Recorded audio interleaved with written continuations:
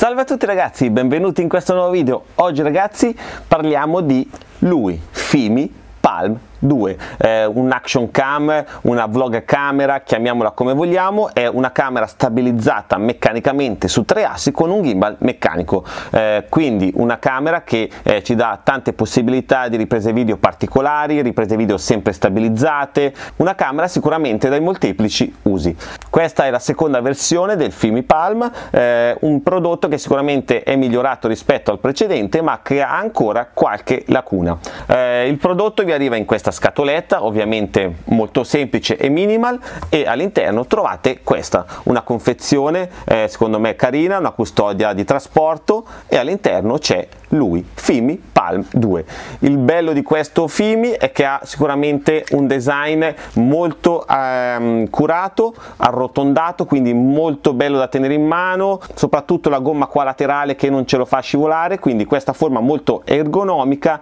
è davvero piacevole da tenere in mano poi molto minimal nei tasti abbiamo solo un tasto centrale un joystick per comandare appunto il gimbal e qua un tasto touch per far diventare in un attimo la nostra vlog camera una camera selfie. Eh, poi per il resto ragazzi basta i tasti sono finiti. Poi ovviamente abbiamo un display touch che ci permette di entrare nelle impostazioni del menu che è davvero molto molto completo. Le, eh, le opzioni disponibili sono davvero tante. Poi una cosa interessantissima che ha è il fatto di avere una presa jack per un microfono esterno quindi una cosa davvero utile. Senza il bisogno di dover acquistare un adattatore aggiuntivo per attaccare un microfono esterno qua possiamo farlo tranquillamente. Abbiamo una presa Type-C per la ricarica o per collegarlo al PC e un'altra cosa interessante è la possibilità eh, di eh, fissarlo a qualsiasi supporto, cavalletto, qualsiasi cosa noi vogliamo, supporto per biciclette, tramite ovviamente la parte filettata qua sotto, quindi un'altra cosa utile nel senso che non bisogna anche in questo caso comprare un accessorio esterno per poterla fissare a qualsiasi supporto.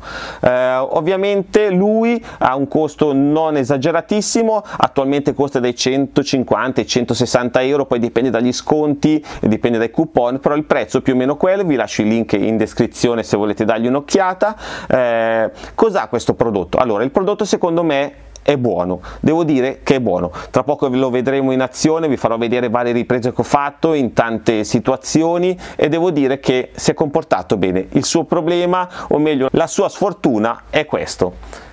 DJI Osmo Action 1, cioè la prima versione. Perché la sua sfortuna? Perché questo prodotto che è un prodotto nuovo, quindi appena uscito costa 160 euro, quindi un prezzo non esagerato. Se calcoliamo che un Osmo Action 2 costa più di 300 euro, questo ne costa quasi la metà praticamente, quindi eh, la differenza di prezzo potrebbe dire ok, la differenza di prezzo potrebbe giustificare ovviamente le differenze di prestazioni. Mentre come vi stavo dicendo purtroppo per lui è ancora in commercio il DJI Osmo prima versione, questo prodotto di DJI secondo me è fantastico che attualmente però è disponibile disponibile a un prezzo molto competitivo perché costa circa 200 euro, 210 euro, poi dipende dal momento di Amazon, però è quello. Finché questo sarà in giro, questo sarà sempre penalizzato, perché questo comunque quando è uscito è un prodotto che costava 350 euro, quindi un prodotto che costava tanto all'uscita, che però dava tanto. Eh, però adesso si trova eh, come rivale lui in questa fascia di prezzo, nel senso che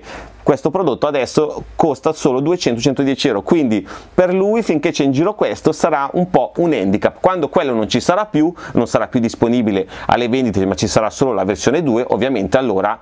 a questo prodotto avrà ancora più senso perché comunque è un prodotto che eh, rispetto alla versione 2 costa circa la metà. Lui secondo me è un prodotto più che buono, il suo problema più grosso secondo me è il bitrate dei file video, nel senso che eh, questo prodotto viene dato come prodotto che fa video in 4K a 30 fps con un bitrate di 100 megabit per secondo, quindi gli stessi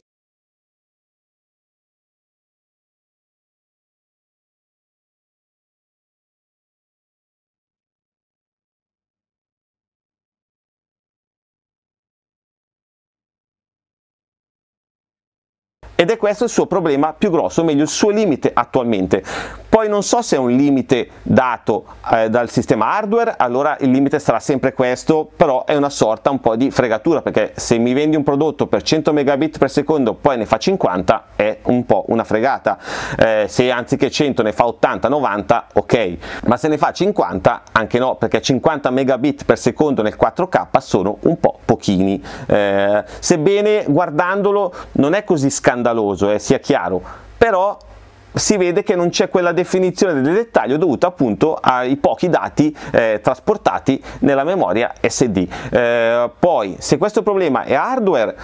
se lo trascinerà per sempre. Se invece il problema è solo che l'hardware è in grado di farlo, ma non sono ancora stati in grado di sviluppare il firmware, perché comunque essendo un prodotto nuovo ha possibilità di sviluppo, di miglioramento continuo, eh, allora a quel punto, eh, quando aumenterà il suo bitrate, diventerà sicuramente un prodotto davvero, davvero buono. E un altro limite che ha sono gli FPS, nel senso che lui viene venduto per 4K a 30 fps come limite massimo, eh, e invece sarebbe stato utile averlo con il 4K a 60 fps perché comunque DJI prima versione aveva già il 4K a 60 fps quindi eh, questo è un altro limite che poi potrebbe diventare più o meno utile dipende dall'utilizzo che uno ne fa però 60 fps in, secondo me in camere tipo questo eh, ha senso averlo. Se scendiamo a 2,7k li ha eh, però nel 4k è 30 fps però secondo me la specca più grossa ragazzi attualmente sono questi megabit per secondo che ne ha solo 50 e rende diciamo, la qualità video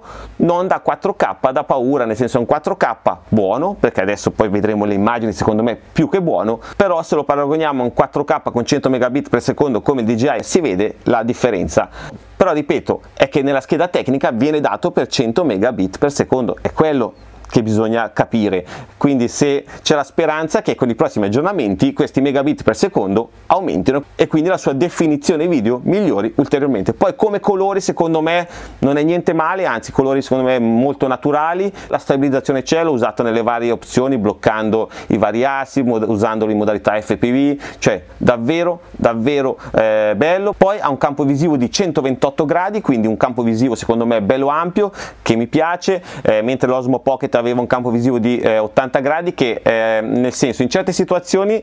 eh, forse meglio l'80 gradi, in altre però il 128 ci garantisce un'inquadratura più ampia, perché comunque con i 128 gradi abbiamo comunque la possibilità di croppare, quindi andando a zoomare potremo comunque avvicinare e comunque inquadrare in maniera più vicina il soggetto, se però avessimo i 100 megabit per secondo, perché se croppiamo un'immagine a 50 megabit per secondo eh, si va a vedere la sgranatura, mentre se avessi 100 megabit per secondo questo si può fare senza andare a perdere un granché di qualità funzionalità quando ne dovessimo avere la necessità. Poi l'applicazione per smartphone sia per iOS che per Android è ben fatta, completa, c'è tutto molto simile a quella che è eh, l'applicazione DJI Mimo per eh, Osmo Pocket, eh, quindi anche dal punto di vista dell'applicazione mi piace, si connette benissimo al, allo smartphone, la connessione è stabile, non c'è un grande ritardo, anche questa cosa mi è piaciuta tanto perché è davvero ben fatta l'applicazione, è una cosa importante. E poi il menu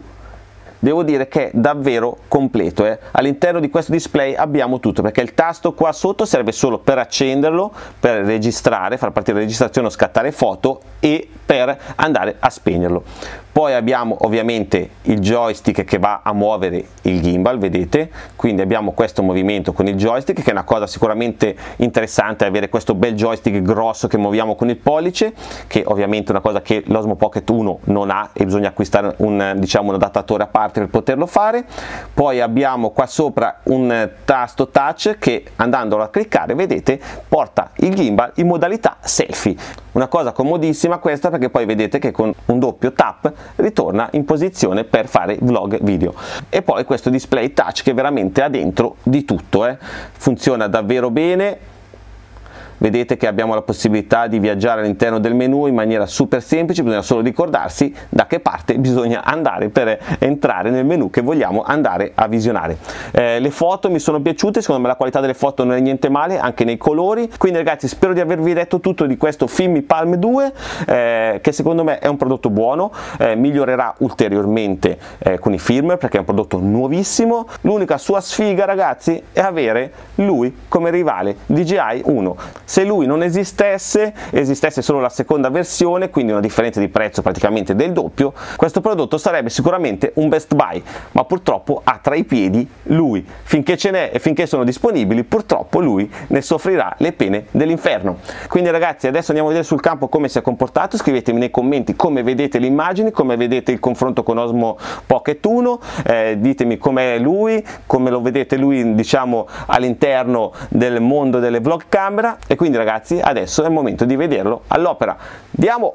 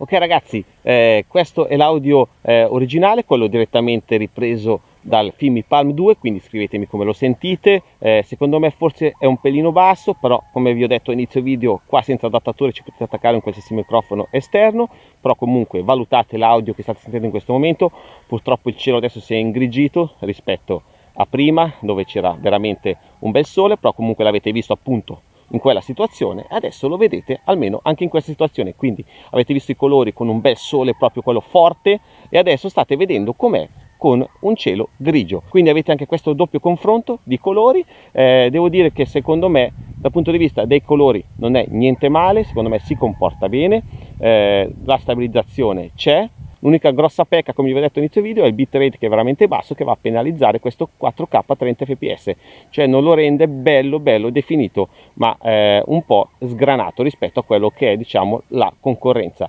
E nella scheda tecnica però viene dato per 100 megabit per secondo, cioè quello che è eh, da la maggior parte della concorrenza di alto livello. L'altra pecca sono sicuramente i 60 fps mancanti eh, nel 4K, però se li vogliamo assolutamente utilizzare li abbiamo nel 2,7K,